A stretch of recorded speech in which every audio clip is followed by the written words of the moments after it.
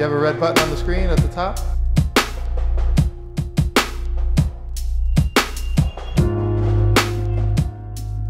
I think it turned out fantastic. It, it, wasn't just centered around me, but it dug deeper into a sort of uh, a movement of artists that are commenting uh, on, uh, in a very sort of politically charged uh, climate and world that we're in right now. It's kind of like a blue collar working man's art film, I think.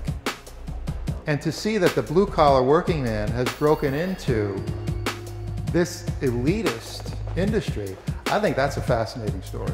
The, the film is about the freedom to express.